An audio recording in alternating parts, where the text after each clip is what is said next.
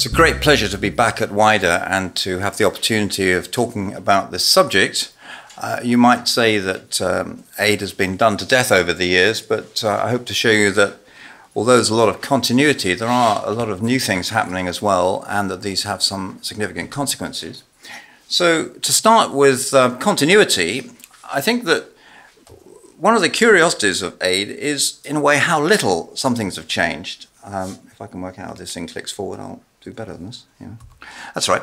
So here is um, this is from DAC publications. This is the total official development assistance from DAC members over the years. Grew gradually. After the fall of the Berlin Wall, money was diverted to Eastern Europe, so there was a dip. From the, about the millennium, it went up pretty steadily with a big blip, which is aid write-off in 2005. And since the financial crisis, you haven't seen it. You haven't seen it collapse. You might have imagined it would have collapsed, but it hasn't. It has in fact leveled out because some of that increase in the final two years is the consequences of very heavy refugee spending in Europe. Because under DAC rules, you can count the first 12 months of your expenditure on refugees in your country as official development assistance. So you should see that line really as flatter than it looks uh, in, in that presentation. And when you look at the share of the um, of Western gross national income which is going into aid, uh, it's still interesting that the highest point it ever reached was at the height of decolonization, which was now rather a long time ago. Uh, that it was almost static around half the UN target for several decades, and although it went down, as I say, after the fall of the Berlin Wall, it's now back more or less where it was. So, from that point of view, you might say, well, what's changed? And another thing that hasn't really changed very much is the multilateral share of all this, which reached a peak, interestingly, at the end of the 1970s, then trended down to um, to about the uh, start of the uh, of the 2000s. Occasionally, these figures are difficult to understand. I mean, this blip downwards is merely because of this huge dip write-off in that year, which counts as bilateral. So some of these, but the general trend is clear. There has been a bit of a recovery in the multilateral aid share over the last few years. The other thing to note, and this is very important, I think, is that the European Union, which is the blue, which whose flows are included in the blue line but not the red dotted line, has become a very significant player in its own right in this field over the years. I'm not going to be saying much more about the European Union because I'm talking mainly about other aspects of aid, but it is a, an important uh, contextual point. We are seeing something of a decline in contribution to some of the main replenishments from the DAC donors. You'll see there was quite a fall in IDA 18. Now, part of that is due to currency movements. The US dollar was very strong, the euro was weak. That translates a little bit into some of those numbers. Same true of the African development replenishment. You are seeing also a build-up of, of contributions from countries outside the DAC. In this case, most notably China, and in the most recent replenishment, also India. And as I'm in Finland, I can't forbear to show a, a, slide about what's happening in Scandinavia and the Netherlands, traditional supporters of the multilateral aid system. And one has to say, when you look at the contributions to IDA 18 and ADF 14 from these uh, traditionally very supportive members of the international community, there is quite a pulling back. And one has to say, as we're here in Helsinki, that Finland is perhaps the country where the pulling back has been most marked. So it's an interesting question going forward whether we can kind of rely on the very steady support that we've had from that group of countries over the years from, for some of these institutions.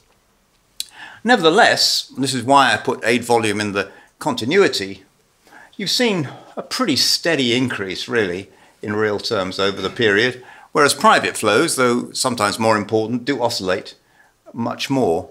It's also worth noting in this chart the very significant increase in net grants by non-governmental organisations of all, of all sorts. That's both um, NGOs in a narrow sense and foundations, and it's becoming a more important part of the total transfer of particularly highly concessional flows. Another thing that, in my view, hasn't changed very much is development effectiveness. I was heavily involved as chair of the DAC in the Paris Declaration. All that went with that was then the famous Busan meeting. We've now got a global partnership for effective development cooperation. Read their last monitoring report, and you'll see that it's a depressing story on country progress on public financial management. Slightly more countries, it's got worse than it's got better over the last few years. There's no change in the use of country systems by donors, essentially. Aid predictability is very marginally increased, but not much. Untying hasn't changed much either. And although there's strong alignment at the top level that uh, donors can always say what they're doing is in line with country priorities, when you challenge it a bit more and see, well, are you measuring results in the same using country systems? The answer tends to be a lot less than that. Uh, I'd really like to see a, a, sea change in the way donors get countries more involved in evaluations. Too many evaluations are done by donors for donors. We should see many more led by countries and supported by donors. Similarly, on inclusive partnerships, the operating environment for many CSOs is, leaves a lot to be desired. Dialogue with the private sector, everybody says it's a great idea. When you challenge and see what's really happening, the answer seems to be not a great deal. Where there has been quite a bit of progress, I think, is on transparency and accountability, as I put there, but not really on mutual accountability. Another question I ask myself in, in this is whether there's been a switch or not from horizontal type funds, IDA and so on, which are a principle available for country priorities, and those which are pre given their priorities by the donors because they're set up for particular purposes. Uh, UNICEF is, I suppose, the poster example, set up in, uh, I think, 1947 for, for children. Uh, and of course, it's been joined by Gavi, the Global Fund, and more recently, the Green Climate Fund. I think it's true to say, I, I don't have fully comparable figures, unfortunately, because OECD has a nice data set which doesn't go back that far. But I think it's true to say that that was quite a big increase from 2000 onwards in special purpose funds of various kinds. But I also think that's pretty well levelling off for reasons I'll come on to later. So the balance there, I think, may stay much as it is for the next few years. Learning and evidence is very important in all this. I used to be, until recently, chair of the International Initiative for Impact Evaluation, or 3IE.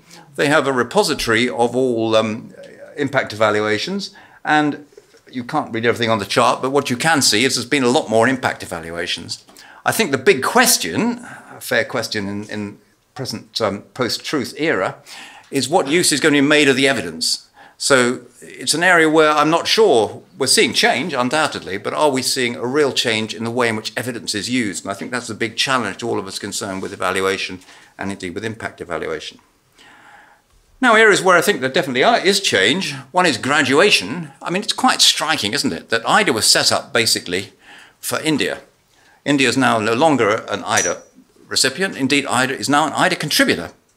I think that's a very significant shift in, in the world. Uh, Sri Lanka, Bolivia, and Vietnam are graduating in the present round.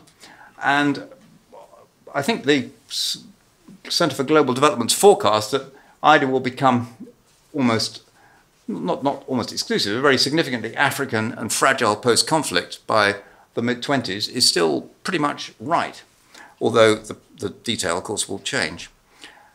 I also think that ODA is getting somewhat better allocated. You'll see that there's a decline in the amount proportion, these are proportions going to upper middle income countries, an increase for the least developed countries. And I've been very struck in the recent multilateral bank replenishments that the donors are completely caught, really, between the traditional view that it must all be about performance, and hence we have a CPIA and these various complex measurements of, of uh, effective of um, competence on the developing countryside, versus their now almost overwhelming interest in how do we deal with fragile and conflict-affected states. And different, this is being resolved in different ways in different institutions, but more and more donors are in fact as interested in fragility as they are in supporting those who've made some progress already. And correctly, of course, over time, countries do become more self-sufficient. Here is what Henry Kissinger described in the mid-1970s as a basket case, Bangladesh. And you can see how government revenue has completely outstripped aid disbursements over that period. And if I could update those figures, it'd be even more true. Another important change, of course, is the rise of uh, assistance from countries outside the DAC. I put some figures on there, and this presentation will be available so you can look at it um, in slower time. But it's worth picking out a few interesting countries here. Turkey, of course, it's largely about dealing with refugees. Turkey is, is spending a phenomenal amount of its resources on activities which count as official development assistance according to DAC rules. The United Arab Emirates is providing more than 1% of its GNI in the same way, and it's amazing how big the GNI must be to produce that number. Uh, India still very focused on uh, its near abroad, of 60% of its aid going to Bhutan. Uh, Russia at the billion mark is the proportion of GNI. It's not very different from many Eastern European countries. Brazil, a big decline since the days of Lula. uh, and I think the Brazilian program is, um, is now pretty marginal. Uh, of course, the big one is China. Uh, Naohiro, I, I, always look to you for the figures on this, so I've, I've taken this. What you'll see in, in, this is an attempt by uh, Naohiro to try and apply the ODA metrics to Chinese aid. And the big difficulty there is what exactly are the terms of some of the concessional lending. But you'll see the general picture is a very rapid increase to very significant numbers, which has leveled off for first grants and interest-free loans. It's more or less leveling off as net disbursements of concessional loans, but gross disbursements are still rising. A really big increase in multilateral aid, which includes the setting up of the AIIB and these big contributions to IDA. And then the dotted line, which is actually very important, it's all these preferential buyer's credits, which could might or might not score as aid, but they're very significant, and they certainly uh, have to be looked at in the overall scheme of things. And uh, this chart, a little bit hard to read because there's a lot of data on it, but the China line, which is here, shows that even on a net basis, China is now a very significant donor, if you like, put in the same frame as the DAC. If you took the gross chart, it's a good deal higher. And of course, the most important thing about China is not going to be the grant and the interest-free part of that, but it's more about things that I think Justin will be talking about later. Uh, the other thing that's really new, and I think this is worth just a minute or two, is, is a financial engineering discovery. There's, a, some discussion as who discovered this, but the Asian Development Bank were the first people to put it into, into uh, practice. It comes about from the fact that soft funds are always repaid. So every soft fund can be seen as a large asset, though it hasn't come in yet. People will be repaying it over the next decade or so, and they always do. As a result, this is, because it's an asset, you can borrow against it, or you can, you can make something of it. So in the Asian Development Bank, they have their ordinary capital resources, but their equity was 17 billion. When they did this calculation for their soft fund, there was 31 billion of equity in their soft fund, which no one's paying any attention to. You put the two together, that makes 48. You have a much more conservative gearing ratio because the money's not been paid back yet, so the rating agencies still give you AAA. And as a result, you can increase your total lending from 13 to 20 billion on a sustainable basis, and you only need half the amount of money from the donors. How about that? So that's a real change. And when you apply this to IDA, which is, of course, the big elephant, grants from contributors, as I've shown, have gone down. Concessional loans is another form of, uh, of contribution from the donors has gone up a bit. Total internal resources keep rising because people are repaying IDA and the population is shrinking. But on top of all that, goodness me, we're going to borrow $16 billion against this hidden equity. So as a result, the, the size of IDA in the last implementation went up by over 50% in SDR terms and a little bit less in dollar terms. This translates into IDA being able to double, double in the present three-year period its lending to all fragile states on average, and to increase its aid to all other borrowers by 40%.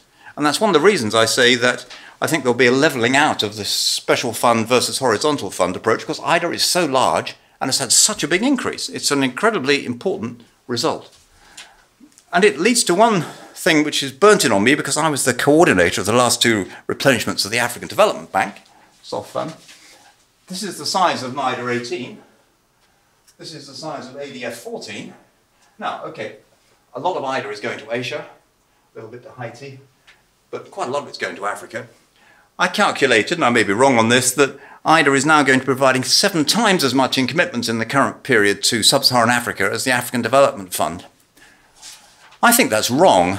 I think that's a very unfortunate result of donors not taking on board what they actually knew, which was that IDA was going to borrow a lot of money. If you look at it, donors gave IDA, they treated IDA slightly better than they treated the African Development Bank in terms of their own lending. As a result, we've got a situation where the main regional development bank is woefully underpowered compared to IDA. Now, there are a lot of reasons for that, and it may be that the donors don't really rate the African Development Bank as highly as the African Development Bank would like to be rated, but I don't think that's a very satisfactory situation, and I think it needs to be looked at as we approach a new replenishment round. Finally, lending. uh, as countries get richer, people are more inclined to lend. And in the DAC, of course, there have been a lot of traditional lenders, Japan most notably. And what you see here is the size of lending from the main loan partners in the DAC. And Japan and Korea basically provide quite a significant portion of their assistance in this at highly concessional rates. Germany and France, a somewhat smaller proportion of theirs, at significantly less concessional rates. Total loans up 13% in 2017 in real terms. Also, DFIs and the British CDC would be a good example, are significantly stepping up their activities. A second one, which I think is not talked about enough, is what the European Union is doing. This is the so-called Juncker plan now applied to the, the abroad. This covers the neighbourhood areas, which is parts of Eastern Europe the Mediterranean, plus Africa. And basically, it's a leveraging fund in which money is put aside and then leverages a very large amount of, of investments with technical assistance and enabling environment support. I think it's the nearest European equivalent to what Justin may be about to talk about. Uh, the third case, of course, is precisely China, and I'll leave that to uh, Justin. Uh, generally, with, with incomes rising and a lot of money having been written off, the highly indebted poor countries went to becoming the lowly indebted poor countries. And as a result, if you've, if you've had your debt levels cut, what do you do? You go out and borrow.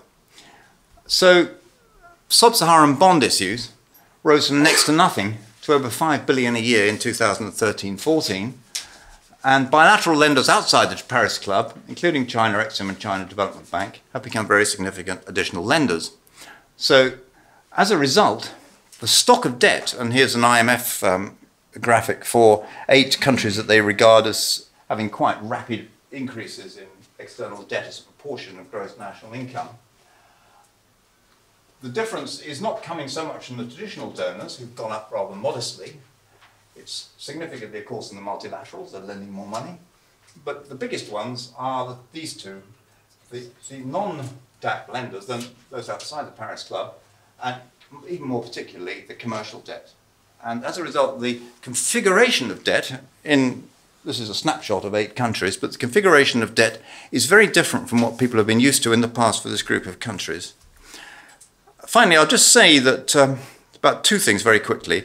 Um, there is a, um, a, review ongoing, and it'll be published very shortly by under the leadership of the Deputy Prime Minister of Singapore, uh, Deputy Prime Minister Tharman, with a very um, good group under the G20, which is looking at system, systemic issues across the international financial institutions. I'm just putting it on screen so that you look out for this. It'll be published very shortly. It'll be discussed at the annual meetings, and I think it will be very important in looking at the whole IFI system. And finally, you expect me to say a word on Brexit. Well, it's not the right moment to talk about this because nobody knows what's going to happen. So I'm simply putting up what the last British white paper on the subject said, which is that the UK proposes a cooperative accord with the European Union that will allow for UK participation in specific EU programmes, instruments or bespoke projects with appropriate influence and oversight. And the UK will critically assess the rationale for this. So, to my mind, in all the negotiations over Brexit, one of the easier ones is that given that the UK is going to provide 0.7% anyway, there's no cost to doing some of it in association with Europe, and I suspect that part of any deal will be something on those lines. So finally, that's my view on areas of continuity which I've talked about, and some of the main areas of change. And it's been a pleasure to talk to you.